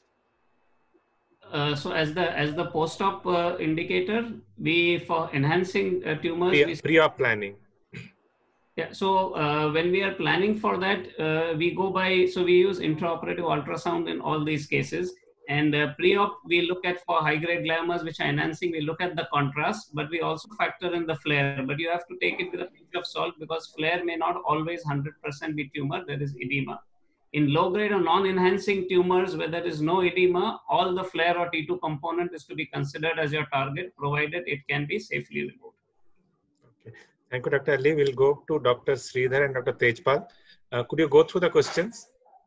Yeah, So, so first of all, I would uh, like to respond to the uh, in the COVID era whether without uh, surgery uh, radiotherapy should be uh, given. So Given or not? The answer is clearly no. COVID or no COVID, appropriate debulking surgery should be considered for um, high grade gliomas. And as Ali said, for lower grade uh, gliomas and benign tumors, you could defer them for the time being and they can come up later uh, uh in a month or two months time uh, for surgery. So we would not be very uh, comfortable giving radiotherapy directly uh, in gliomas, even in the COVID situation. Okay, both in high grade and low grade. Yes, so the low grade can be deferred. So the surgery yes. can be deferred if there are no symptoms or minimal symptoms and in the high grade, appropriate debulking surgery should be done uh, with uh, due precautions. Yeah, there was one question that primary radiotherapy in low grade gliomas means it uh, is nothing to do with COVID. Before COVID era, do you believe in that? the for low grade if we are talking about uh, pediatric low grade gliomas the the treatment should be surgical gross total resection uh, provided you can achieve it without compromising outcomes. Direct radiotherapy does not have uh, any role. But if it's a uh, um, tumor involving the optic chiasm or the hypothalamic region then of course primary radiotherapy can be considered. These days we give chemotherapy to defer the radiotherapy in young children and that's the standard being followed worldwide because uh, they are you can actually defer the radiotherapy successfully in younger children by giving uh, them uh, chemotherapy. So we would avoid uh, giving uh, doing radiotherapy for these children as well. Okay the, do you routinely use bactrim tablet when when you are using temozolomide to dr so, yeah so even in the slide i didn't uh, dwell upon it but the original Stupp trial did have bactrim double strength given on alternate days during the concurrent phase because the concurrent phase is actually uh, more dose dense than the adjuvant phase. So during the concurrent phase, you should use uh, Septran double strength as prophylaxis given three times a, a, week. We do, we do it routinely. Dr. Roshni from Gurgaon has asked to Dr. Sridhar, are all well circumscribed midline lesions with uh, histone positivity mutation have bad prognosis as diffuse ones? Uh, yeah, I mean, when you say circumscribed, mean if you're referring to one of those pediatric type of gliomas or a young adult type of gliomas or pilocytic histology or PX histology, it has been shown to have confer a worse prognosis than those tumors without histone mutation, whether it is pilocytic or PXA or ganglioglioma. If it is a diffuse tumor, yes, they do confer a worse prognosis, but the prognosis well, there are different biological uh, differences between the age groups, especially if it is presenting in infantile age group, adolescent age group, adults. So they have a different um, prognostic significance. The worst prognosis is seen in the pediatric population, especially younger patients, especially when you have a diffuse midline location and infiltrating pattern. Uh, Uh, could I clear it? See, when you're saying circumscribed gliomas, when Yeah. you say, yeah, so there are, though the theoretically, when you say circumscribed gliomas, it is essentially refers to pilocytic ganglioglioma, PXA spectrum of those tumors. So sometimes you can get an high grade glioma, and especially in pediatric population like glioblastoma, can be circumscribed on the radiology. Those tumors should not be considered as a circumscribed gliomas. So when you say circumscribed gliomas, they essentially refer to the low-grade glial slash glioneuronal tumors. So in those tumors, histone mutation has shown to confer bad prognosis, but they should not be called as diffuse midline glioma. Okay. Thank you, Dr. Sridhar. Dr. Sanjeev uh, Kumari from Hyderabad has asked, uh, uh, when do you start adjuvant therapy in children? Uh, after two years or after three years? What age? This is for Dr. Tejpal. Yeah, so if it is a, pediatric uh, glioblastoma, pediatric high-grade glioma, actually we give radiotherapy, even uh, focal partial brain radiotherapy, even less than uh, three years of age. Uh, fortunately, glioblastoma in less than three years of age is really very uncommon. So most of the time they are ependymomas, and uh, as we all know now, uh, 18 months is the age cutoff for giving radiotherapy for ependymomas. So high-grade gliomas, once in a while we come across who are less than three years of age, uh, where we do give them radiotherapy plus uh, uh, temozolomide, even less than three years of age. So, how Dr. Manisha from Delhi has asked, how do you tackle myelosuppression with adjuvant uh, temozolomide? So, um, so generally, as I said, most of the time it, these are self-limiting. Uh, so if you stop the drug uh, within a few days or a week, 10 days, it would recover.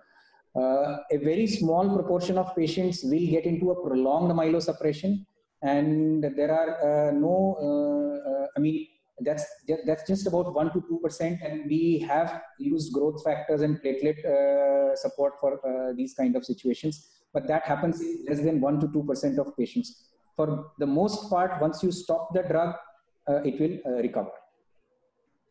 Dr. Ridhi Jyoti from Kolkata has uh, asked, uh, so which patients you will prescribe one year of temozolomide and which patients you will stop with six months?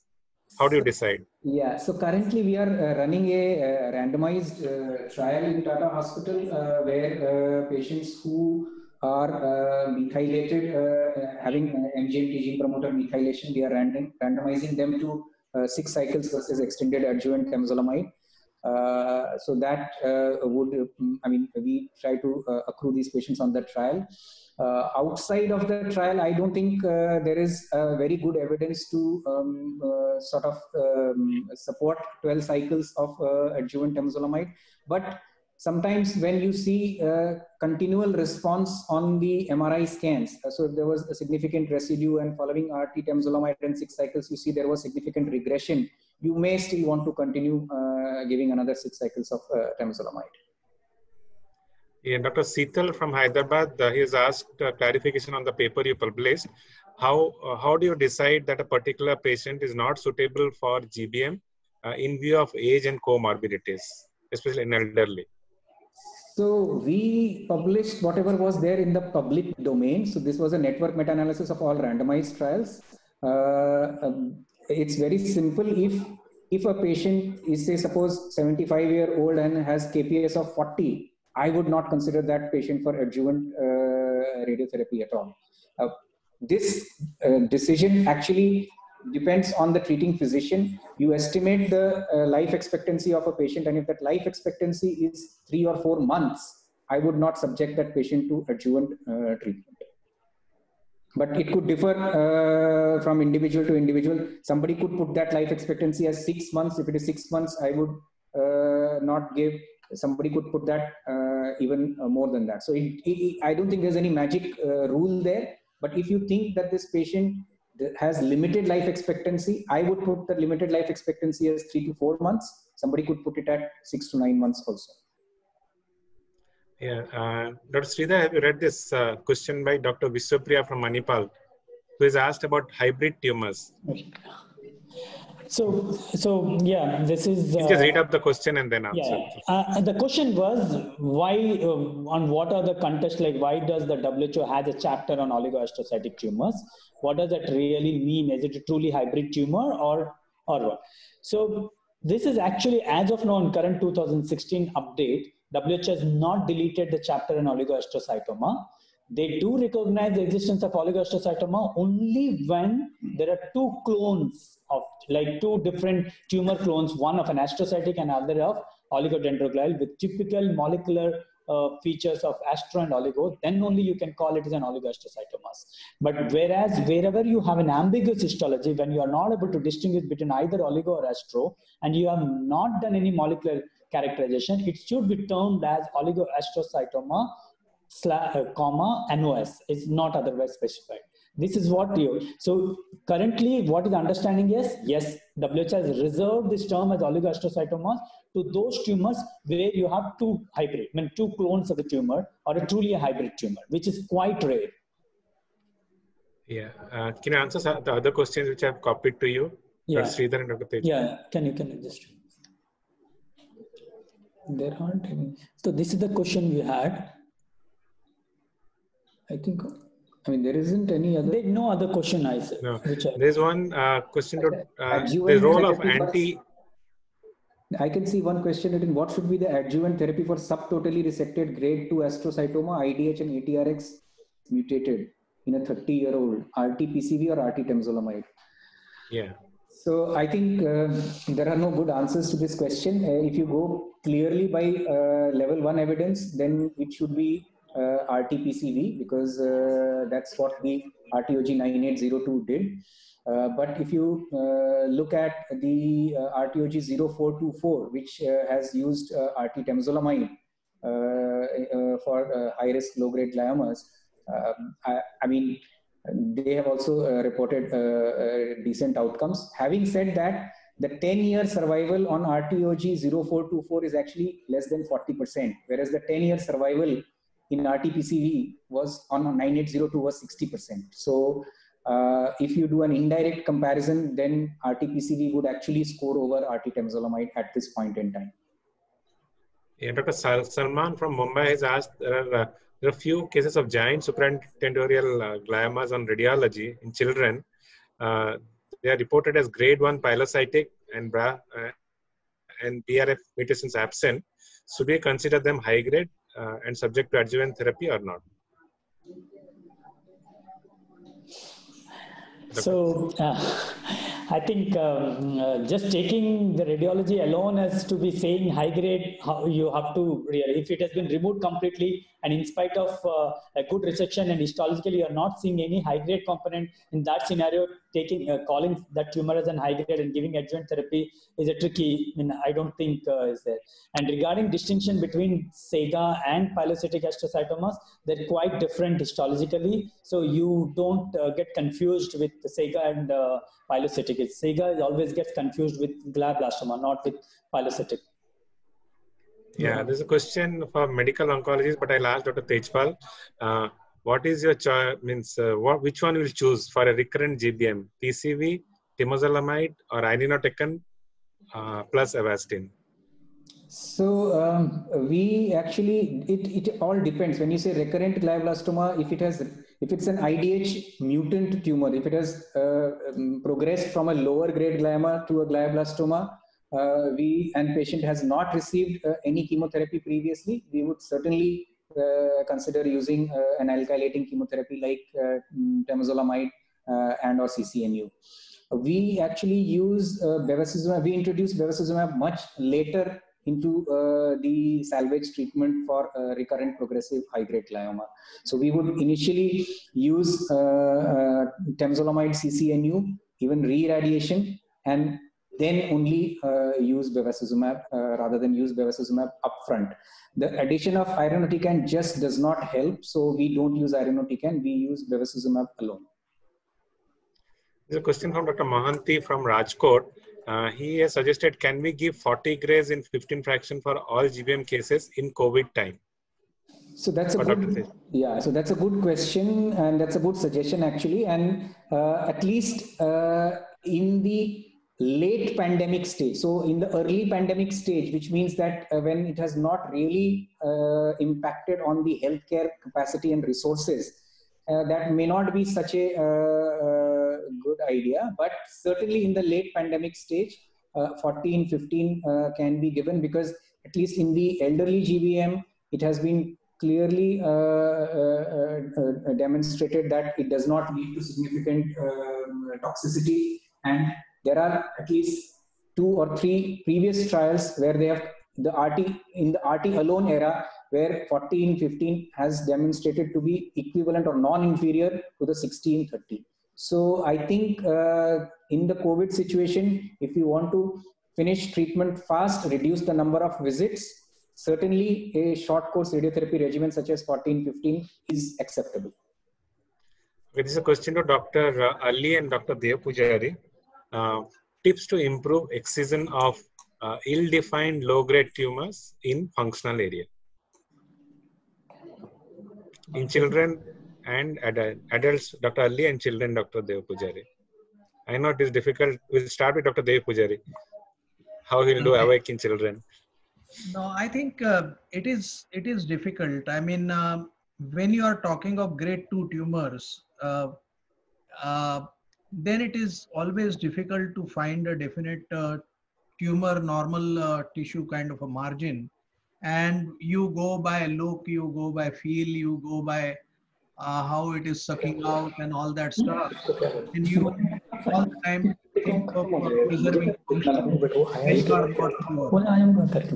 i think uh, if you have a situation where you are dealing with a pilocytic astrocytoma, that kind of a low grade astrocytoma, then I think uh, it is much easier to find a tumor uh, uh, brain interface. And uh, you can peel off the tumor virtually from uh, even inside the cerebellar peduncle or you know deep thalamus or even deep temporal lobe. But I think in a grade 2 diffuse kind of a tumor, it is not so easy. And I personally err on the side of uh, uh, functional preservation, uh, especially if it is uh, uh, eloquent area, especially speech area, we are very, very conservative about.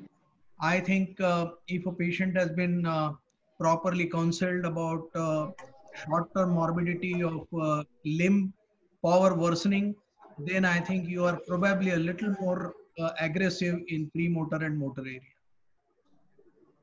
Yeah, Dr. Ali, uh, how, what is the youngest age you have done awake and uh, and then if you do under GA uh, stimulation, uh, what are what are the parameters and precautions you take when you do motor cortex stimulation in children? And what is the youngest age you have done awake? We cannot hear. Sir, sir, please unmute. Please unmute. You have to unmute yourself, uh, Sorry, Ali. sorry, sorry, sorry. Yeah, so uh, the youngest awake we've done is uh, around 15 and a half, 16 years old. We've not done any younger than that.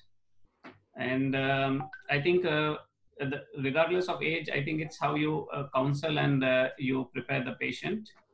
Um, when uh, talking about motor cortex stimulation under anesthesia, so if it is a tumor involving the non-dominant uh, frontal or perirolandic area, we prefer under anesthesia. Otherwise, we prefer awake.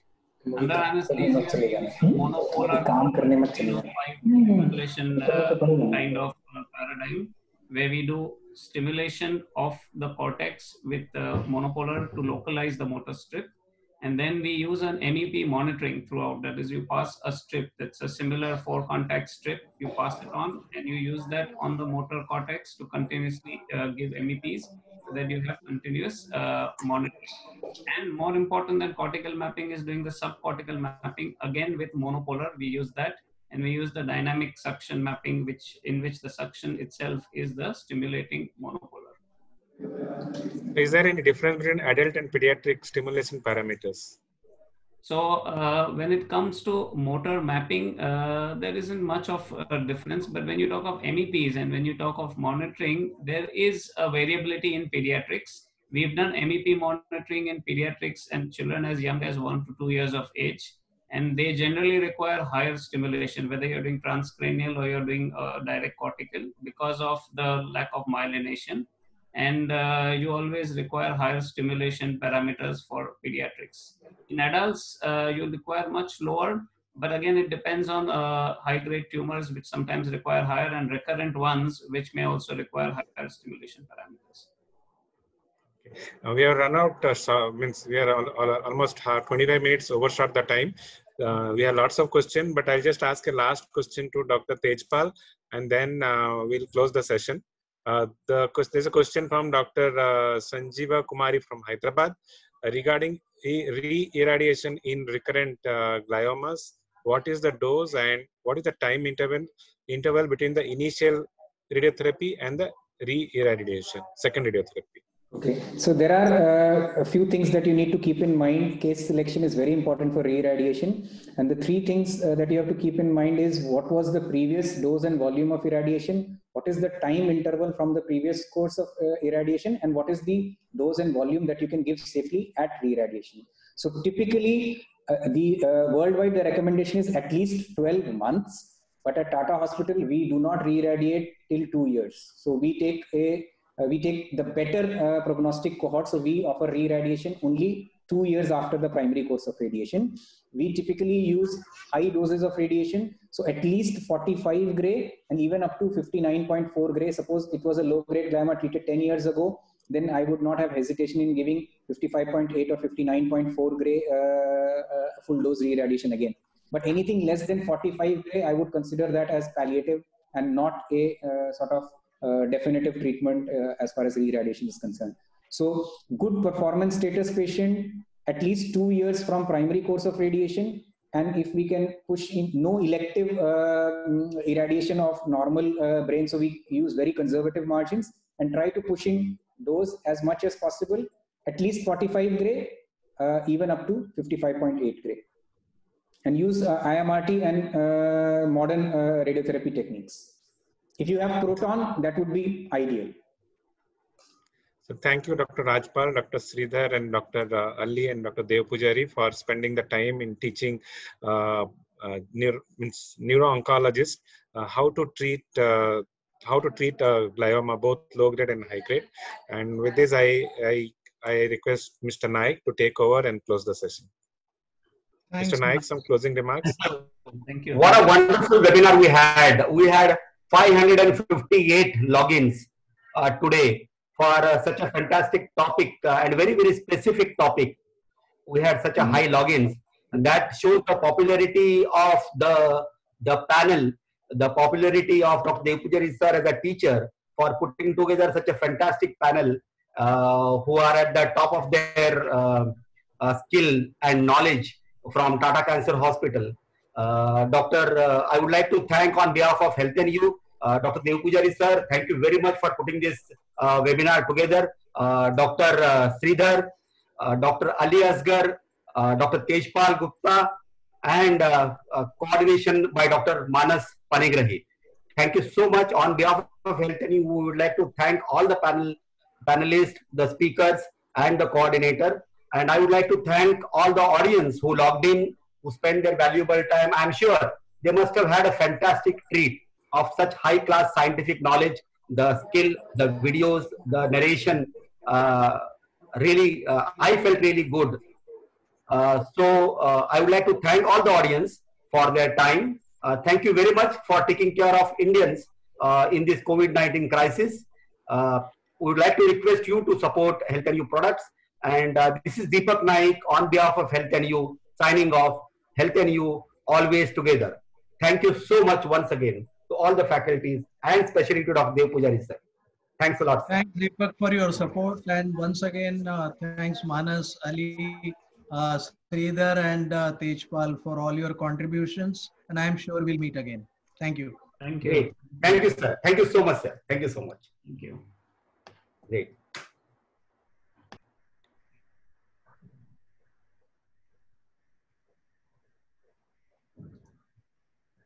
Okay.